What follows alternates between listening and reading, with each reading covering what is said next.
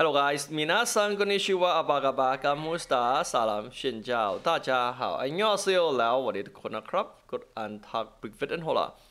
Today I have update news for Hit 2 fan or Hero of Incredible Tales fan PC version pre-download already open today for Korea region. And yep, this game going to grand open as August 25. That means still need to wait one more week even you already download this game.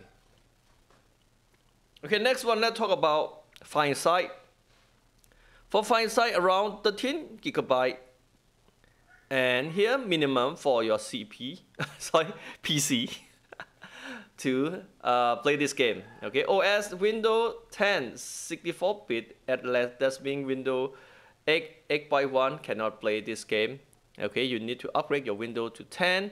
Uh, yep, 11 still can play, I guess okay uh, it's also support a last version. CPU Intel i5 minimum oh quite high okay.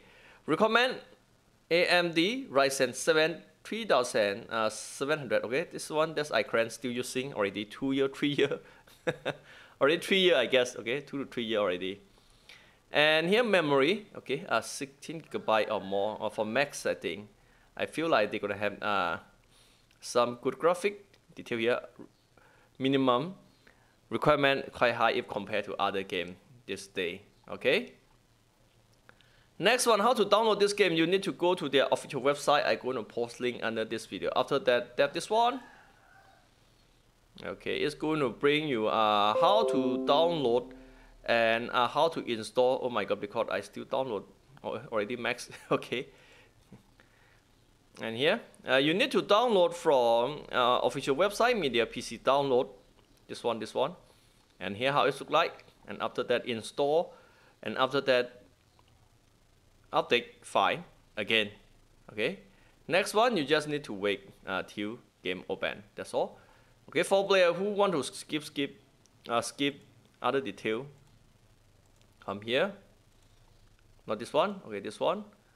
And media this one PC download, then it will bring you here. And try to adapt this rack, and you will get file, okay, uh, that auto download. If not download, I'm not sure it's auto uh, block your region. Yes so the Next one here.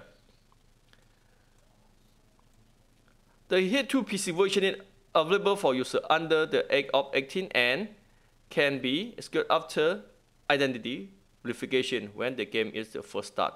Okay, maybe you need to verify uh, with your mobile phone number. I'm not sure uh, it's open to other region or not. Okay, for Lineage 2M, they also open to other region. Okay, let's wait for official list and going to update this info again. Bye bye, bye bye.